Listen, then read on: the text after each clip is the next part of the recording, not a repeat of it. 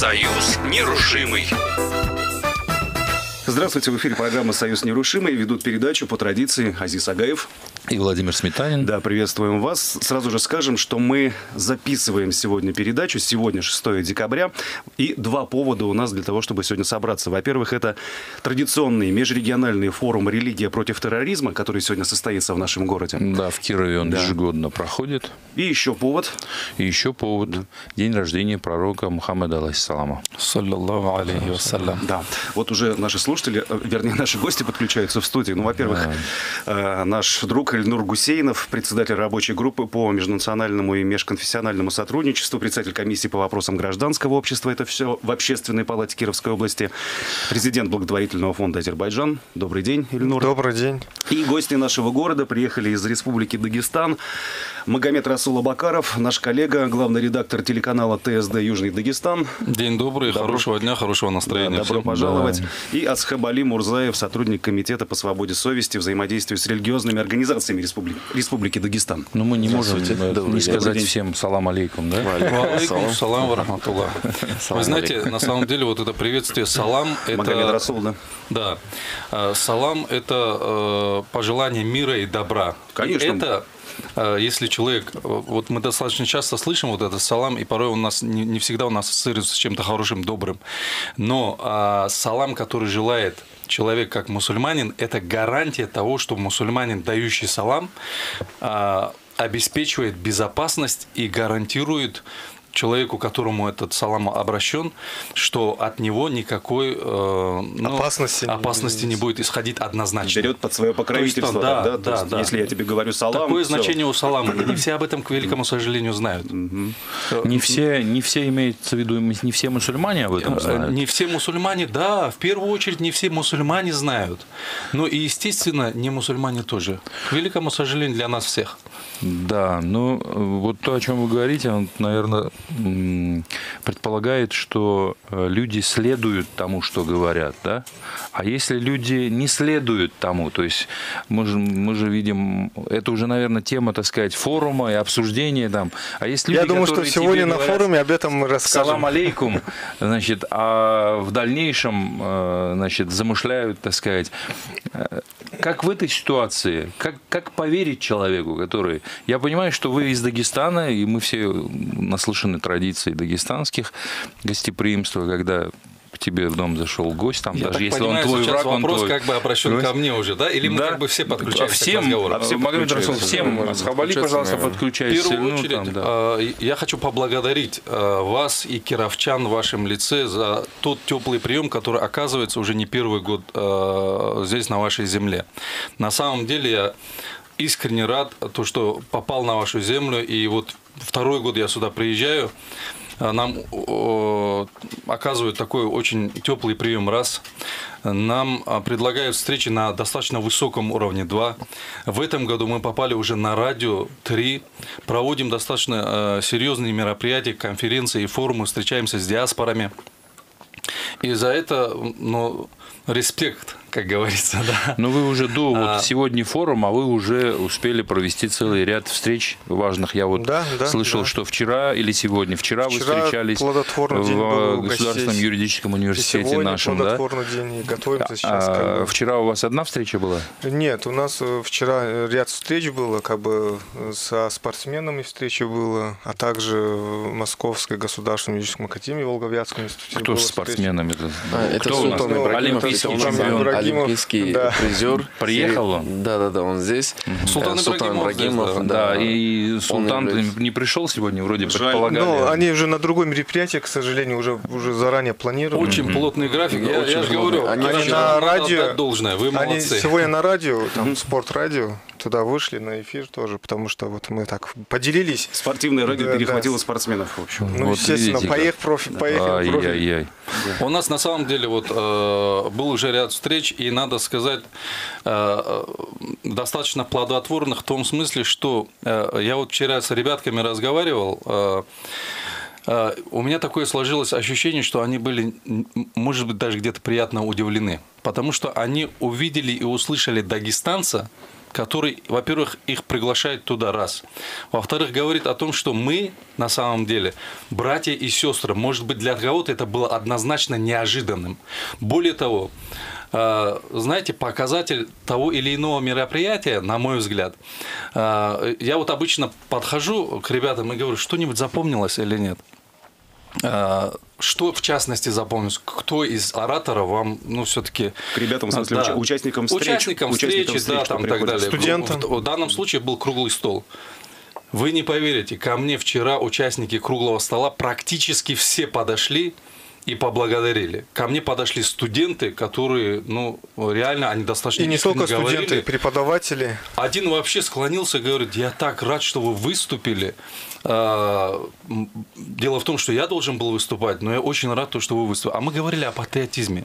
Но, друзья мои, есть у нас общие, знаете, цели и задачи. Мы видим, какое давление на нашу страну оказывается сейчас, да, информационное в том числе.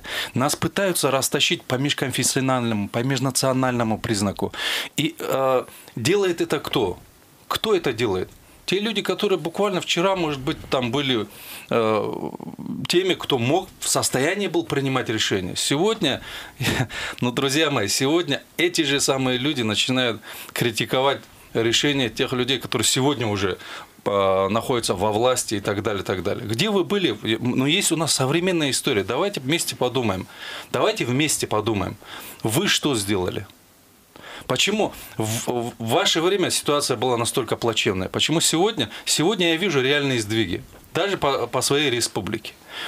А, Поэтому э, я рассказал о том опыте, который есть у Дагестана, например. Да, к великому сожалению, сегодня э, э, на информационных лентах, вплоть до сегодняшнего дня, можно сказать, у многих в России было ощущение, что я там в окопе живу, в землянке. Ну, друзья мои, у нас все хорошо, у нас нет проблем.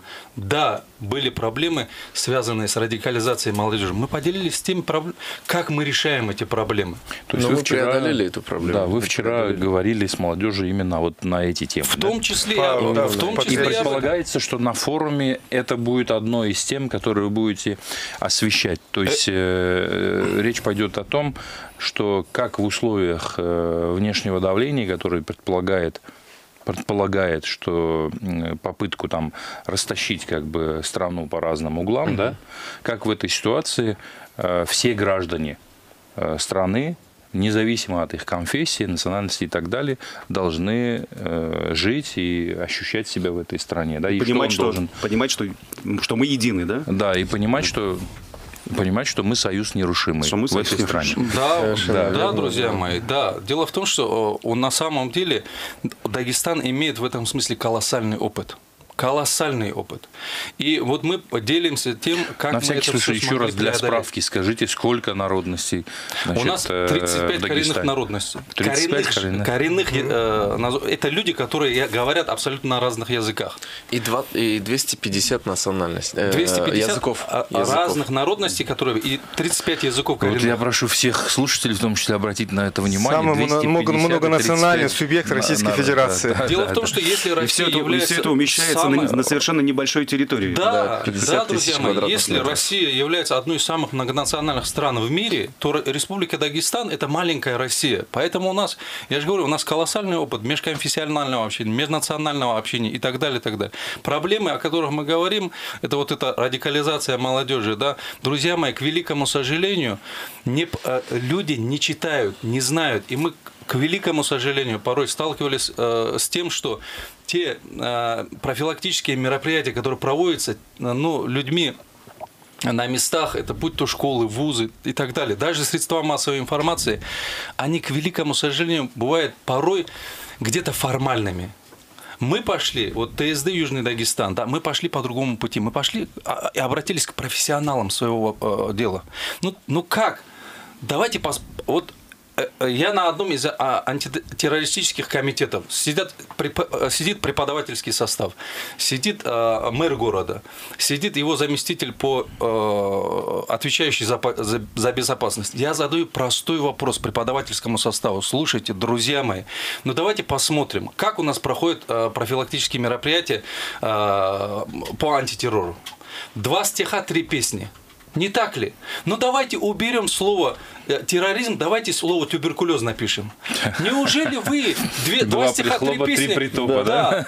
два стиха, три песни про- пропили бы, разошли бы и сказали, все, у нас проблема с туберкулезом решена. Но это же не, не решение вопроса. Аид Расул, вот э, Асхавали, и вам тоже как бы как представителю, собственно говоря, власти, скажем так, да? То есть если Магомед Расул, он у нас м, человек, несущий свет слова как бы э, в общество, СМИ, или правильное, да. средства массовой информации, то вы как раз э, представитель власти, которая, э, слушая это слово, э, каким-то образом притворять должна. Ну вот, Магомед Расул, Ну, то есть мы правильно поняли, да, что комитет вот по свободе совести, взаимодействию с религиозными организациями, это правительственная Это структура. правительственная Да, структура, да, да, да, да, другой структуры да. у нас такой нету. А, это Расул, вот сказали вы хорошие слова людям. Вот молодежи сказали слова. Вот он выходит на улицу и встречается, и, и читает Коран, там так или иначе понимает его, читает, что там вот э, Аллах справедлив, там Аллах милостив, Аллах там и так далее, и так далее. Ведь мы все руководствуемся тем, что написано значит, Священными писаниями, да, писаниями, конечно. Выходит на улицу и смотрит, здесь несправедливо, здесь там, э, э, значит, э, кто-то забрал там и не дает там людям там спокойно жить, здесь еще как-то. И вот он а ведь радикализация происходит не потому, что мы ему правильные слова говорим или неправильные. Это влияет, но так или иначе, после того, как он сталкивается в жизни с какими-то серьезными проблемами, меняющими его сознание. Да? И потом на это подготовленную почву там кто-то кидает э, значит, злые зерна, которые там вырастают. Как, э, значит, вот, э, ну вот, может быть, для нас и, может быть, для страны, вот правительство Дагестана там, или вот ваша как бы структура, или, э, значит, э, мастера пера дагестанские, вот как в этой ситуации вы э, действуете в краткосрочной и вот какой-то там долгосрочной перспективы. Вот можете об этом немножко, так сказать, рассказать? Ну- как вот в этом смысле с молодежью работать? Ну, знаете, вначале нужно сказать, что э, после развала Советского Союза э, в 1991 году образовался комитет по свободе совести и взаимодействию с религиозными организациями. Вот, то он был министерством, то комитетом и так далее, но он был создан на основе свободы, э, свободы вероисповедания, 28 статья. Вот, для чего же все-таки это создавалось? Ну, многие думали, а, для чего же существует комитет по делам религии, что же он все-таки делает. Вот. И видя те события, которые происходят в Дагестане, это вот, э, ну и по всей России, это открытость э, вероисповедания и так далее. И э, к нам зашли очень многие разные проповедники в России. В том числе первыми, куда они пришли, это в Дагестан. Пришли они в Дагестан, и наши проповедники э, говорили о том, что это зло, что нужно этому противостоять, что у нас есть свой традиционный ислам, который нам оставили наши предки. И нужно просто следовать тому, что нам говорили наши старшие. Но э, кому-то стало интересно вот то, что пришло к нам, то есть они говорили о добре и так далее. Вот внесли эту, можно сказать, чуму, да? Да. Как Магомед Расул сказал, туберкулез. Да можно всеми, всеми назвать болезнями, которые Всевышний, Совершенно. так сказать, ну, наслал на, на У людей, нас но тем не менее. да. проповедников это назвал раковой опухолью ислама. Да. На, на самом деле такая Да, вещь. Но, но заметьте, э, в то время, так как э, комитет создавался не из, эм, так скажем, тех, э, может быть, религиозных деятелей, которые уже работали в этом направлении, которые имели некое образование теологическое. То есть он создавался из тех же работников правительства, которые получили образование в то советское время. И э, понимание проблемы нужно детально э, разобрать ее изнутри, потому что даже не все мусульмане понимают вот Разницу. разницу да, между радикальным исламом и Где подлог происходит? Совершенно Не верно. понимают, да. Вот, Подлог и понятия. э, как бы не обращали внимания на это. Но проповедники продолжали говорить, было, было еще то сознание, что религия и государство отделены друг от друга. Вот, и э, на, на тот период как бы правительство не вмешивалось вообще никак. То есть здесь уже проповедники очень долго бились, об этом говорили с трибуны и минаретов и так далее. Но так как э, аудитория была ограничена, это м, предоставлялась возможность говорить только в мечетях, слышали об этом только те, которые находятся в мечети. Потом по истечению времени создавалось телевидение, вот, э, для того, чтобы эм, это слово доходило до каждого. В 96 году мы увидели, что на самом деле произошло в Чечне.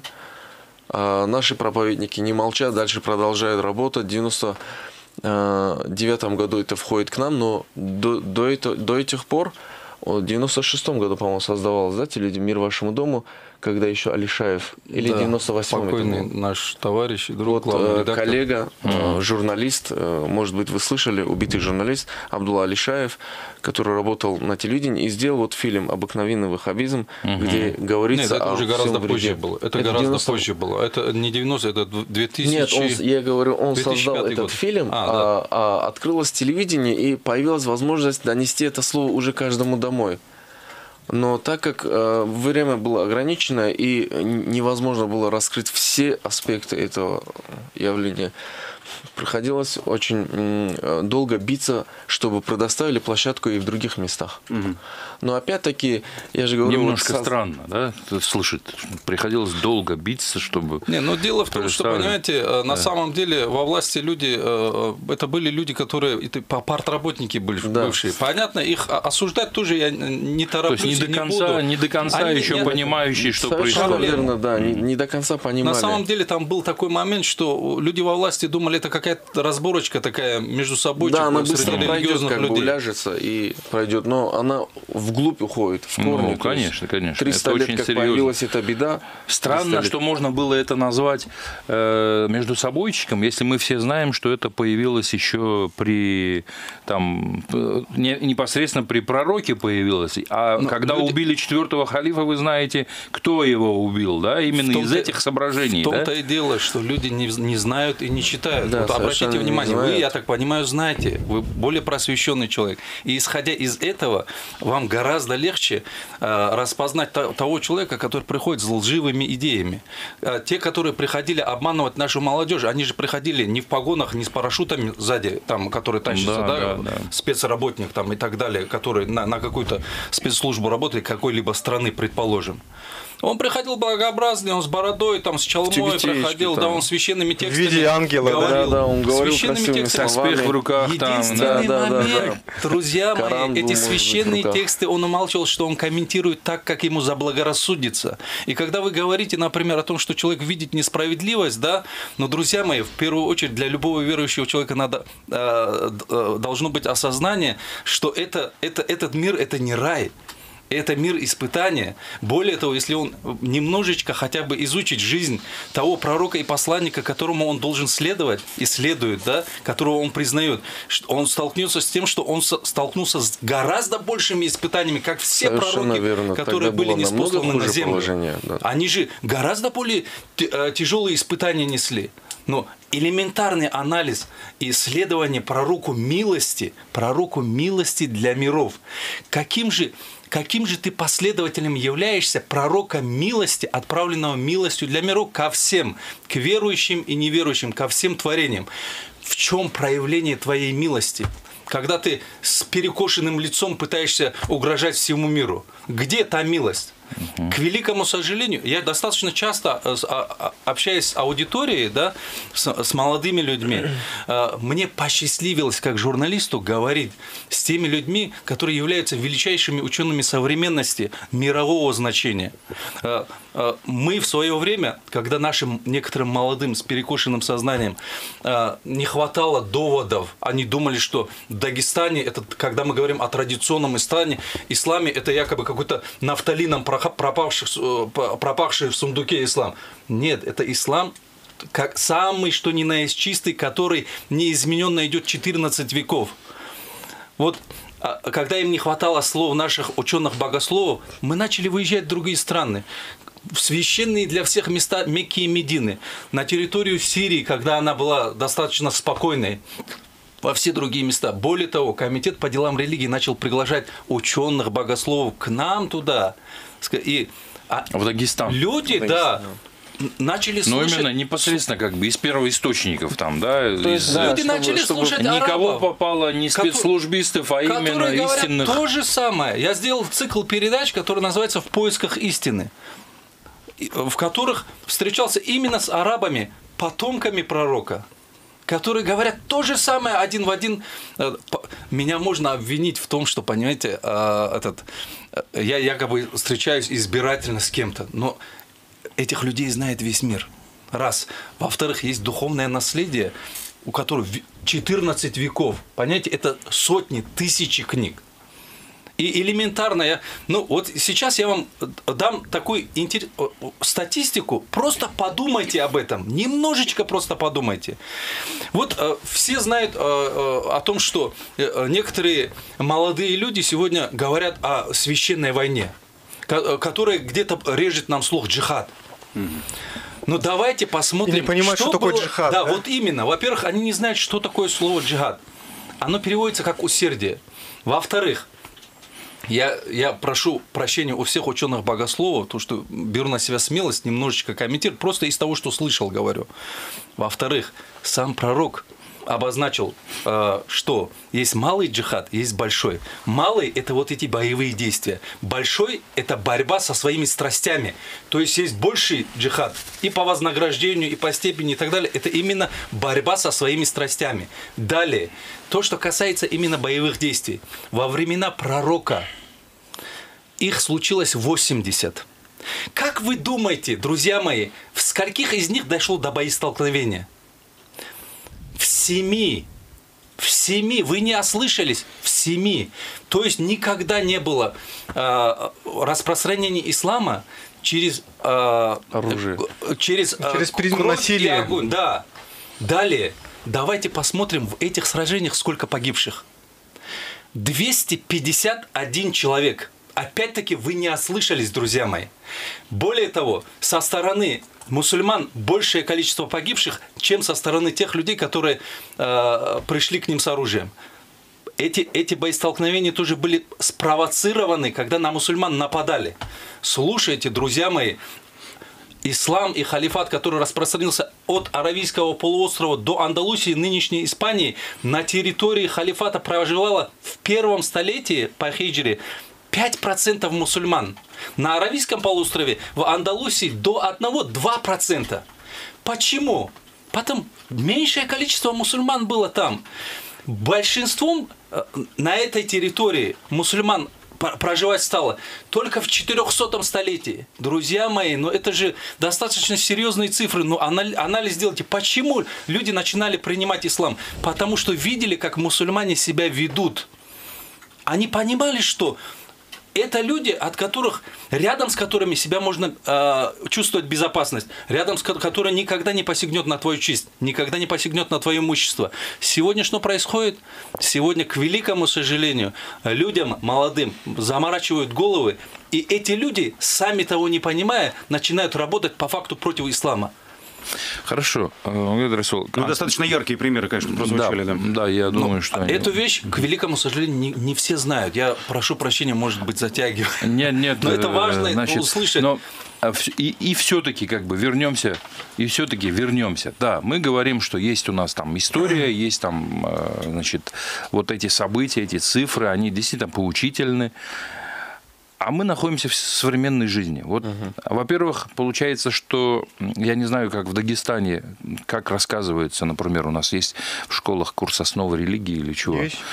Как это, как это доносится, это очень Это никак важно. не Вот как доносится раз я как в раз центральной подводил части к тому, России. что как проводится это у нас в Дагестане. Вот. И во-вторых, я все равно вас верну к этому вопросу. Вы Да, мельком э, как бы задеваете этот вопрос, что если человек выходит на улицу и видит эту несправедливость, и у молодого человека естественное желание попытаться это исправить. Да? Вот его понимание, если ему правильно еще в голову заложено, что он, э, значит, что он должен бороться с несправедливостью, а то у нас ведь закладывают-то как? У нас ведь с вами, помните, по-моему, в Коране же у нас сказано в нашей книге, что увидел несправедливость, останови его. Да? Не можешь остановить, скажи об этом. Правильно, да? Не можешь сказать, Хотя бы сердцем. по голове э, подумай, да, и осуди Хотя его. бы сердцем Осуди, да. да, осуди. Очень хорошо, что Вот, вы привели. э, это. Я Пожалуйста. как раз к этому хотел бы привести к, к теме комитета, то, что проводит комитет и какой, какие усилия прилагает к этому правительство Республики Дагестан, я скажу позже. А вот как раз э, об этом я еще хотел вначале сказать, ответить. Ведь в том же Коране э, сказано, на арабском зачитаю, بسم الله الرحمن الرحيم ادعو إلى سبيل ربك بالحكمة والموعظة الحسنة صدق الله العظيم А, Призывай, а, смысловой перевод звучит так. Призывай к ут- к пути Господне а, мудростью и добрым увещеванием. А, В следующем подкреплении к этому аяту из Корана, что сказано, а, Мусульманин – это тот, от вреда языка и рук, которого сохранены окружающие. И вот то, что вы сказали, Там обозначено мусульманин или не мусульманин. нет, не обозначено. Там сказано Ну, делайте окружающие. выводы. И далее то, что вы говорите, если ты можешь исправить человека, исправь делом, не можешь словом, минимум хотя бы сердцем не пожелай. Что говорится в толкованиях этих хадисов? Это говорится о том, чтобы человек вначале показал своим действием, как нужно в этом деле себя вести, то есть как нужно правильно поступить. Если же у него нет своих действий конкретных, он должен прийти и сказать, слушайте, уважаемый, вы знаете, вот как в Коране сказано, добрым увещеванием. То есть нужно объяснить человеку, что, может быть, вы делаете неправильно, или вы поступаете неправильно. А далее, если он видит, что человек эту информацию не воспримет, что человек может с ним поспорить, что, может быть, пройдет, произойдет какой-то конфликт, на этом месте он должен его оставить и подумать, «А, о Всевышний наставь его, наставь меня и его, и сделай, в в оберни, э, оберни это во благо. То есть вот правильное понимание того, что мы должны сделать здесь, э, навести справедливость, как вы говорите. Справедливость заключается в том, чтобы показать своими действиями, потому что вот э, Магомед Расул рассказал о тех действиях, которые проходили во времена пророка. Вот именно та испорченная, э, с испорченным сознанием молодежь, она ведь апеллирует тем, что происходило 1400 лет назад, что происходили войны и так далее, но хотел бы отметить, что 13 лет призыва пророка Мухаммада, мир ему и благословение Аллаха, он уходит, ну так как его родна, родня его прогнала, он уходит из Мекки. За 13 лет проживания в Мекке он испытывает очень много разных э, давлений, он испытывает предательство, он испытывает угрозу, его на каждом шагу по, м, Преследуют, может, преследовали притесняют. враги, то есть те, которые не принимали от него это слово и не хотели терять тот самый авторитет на тот момент. Вот. И, но пророк Мухаммад, он ведь имел все возможности начать войну, но он не начинал войну. То есть его тут побили, он молча уходил в другое поселение. И так продолжалось 13 лет. Приходя в Таиф, местность Таиф недалеко от Медины, он думал, что его там тоже встретят хорошо, но его, но там подговорили детей, закидали его камнями. И посмотрите дальше, что происходит. Он уходит оттуда, храма, прихрамывая, он опирается на ближайшее дерево, и его это огорчает. Спускается ангел Джибриль, и с ним вместе спускается другой ангел, который как бы э, которому Всевышний дал полномочия исполнять какие-то вот э, природные явления. И он говорит, о Мухаммад, позволь мне вот эти горы обрушить на этот народ. Он говорит, нет. Я, говорит, надеюсь, что, может быть, один из них выйдет, который будет себя хорошо вести и который наставится на путь истины. И тогда этот ангел ему обращается и говорит, на самом деле ты являешься милостивым и милосердным. Ты милостивый. И он просит, представляете, он надеется. Ну а что происходит э, с теми людьми, которые говорят, э, с теми, с, тем, с теми молодыми людьми, у которых, как сказать, э, так сказать, э, сознание перекошено. Вот человек не сделал, как он хочет, тут же нужно объявить его врагом или неверным. То есть, понимаете, неправильное К понимание. сожалению, То есть- великому не читают. То не есть читают, чему не нас учат, чему нас учат, что вы рассказали? А- У нас пять минут еще есть. Да, да, да. Учит нас тому, что, э, во-первых, те, кто облачен мудростью и властью, значит, они должны быть чрезвычайно благодетельными. И они должны смотреть и прислушиваться к тому, что происходит, и думать о людях. Так? Правильно? Вы знаете, Ну, я можно, вам такую можно вещь так скажу. интерпретировать, да. По-моему, с пророком Моисеем, когда Всевышний говорил, он ему сказал о том, что когда люди будут помнить своего Творца, тогда он над ними поставит праведных правителей.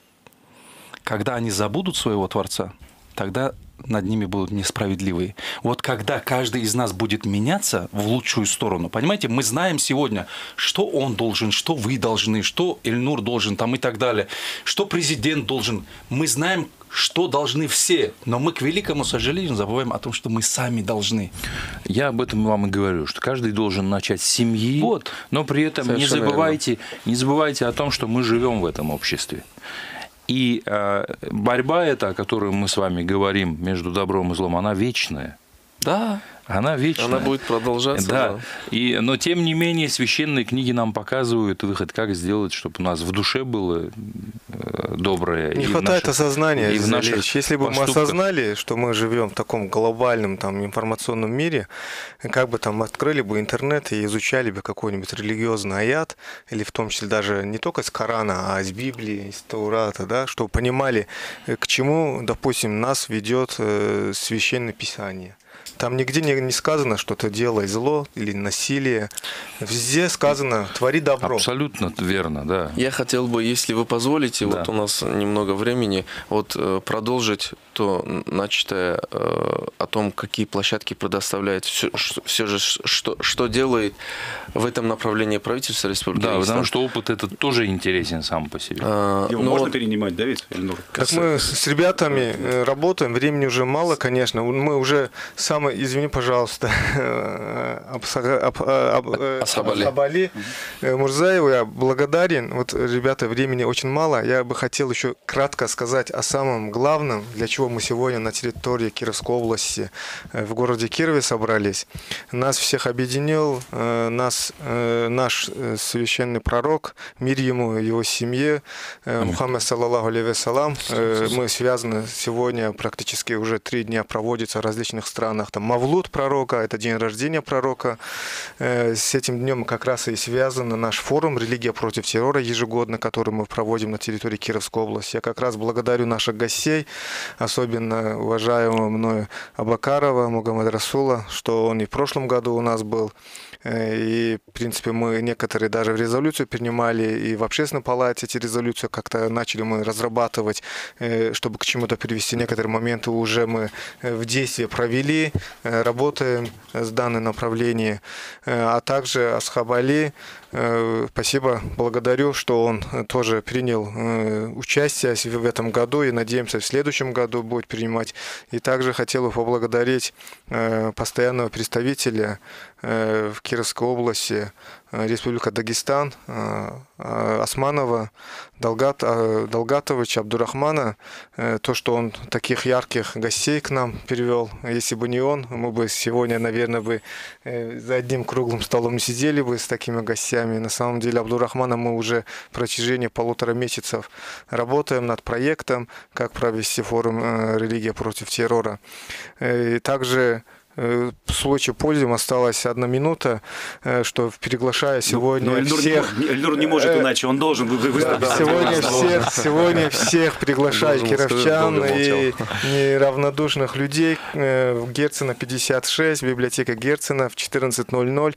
Э, Религия против террора. Открыто посещение, в принципе, там регистрации ничего не требуется. Если есть желание, про- приходите, принимать участие. Нашим экспертам, дорогим, уважаемым людям можно вопросы задавать и непосредственно от них получить плодотворные ответы. Потому что в городе Кирове таких гостей, экспертов мы очень как бы не каждый день их видим и приглашаем. Раз в год они к нам приезжают, мы это время должны плодотворно с ними провести.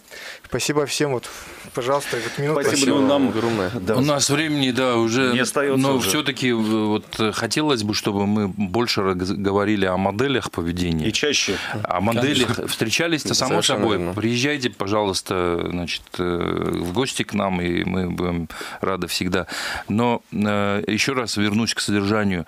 Очень важны модели поведения. Ведь мы, мы не просто должны ссыл- отсылать людей к священному писанию, пусть меня простит Аллах, да, но мы должны людям, э, детям, молодежи, мы должны давать им какие-то модели поведения. Вот хорошо мы сказали, вот есть модель, там, когда вы сказали, ну хорошо, ты скажи, пусть Аллах ему в сердце принесет там.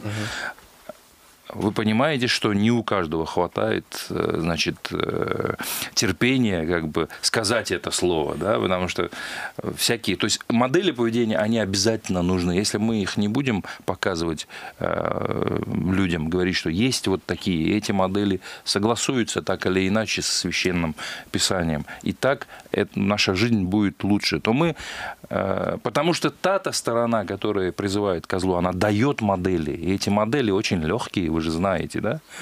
Вот, они очень легкие. Увы, завершается время. Да, мы завершаем. Завершаем. Спасибо Да, большое спасибо нашим большое гостям. гостям. Еще раз спасибо. Вам всех спасибо мусульман большое. поздравляю, значит, с днем рождения пророка, Мухаммад алейхиссалам. Э, Так Всё. что, Да. да, Всего Владимир доброго. Да, Сметанин. Всего да, доброго, да, Агаев, наши доброго. гости, Да. Ильнур Гусейнов, Магомед Расул Абакаров и Асхабали Всем салам алейкум. Благополучия Спасибо. и всего хорошего семьям и кировчанам. Спасибо.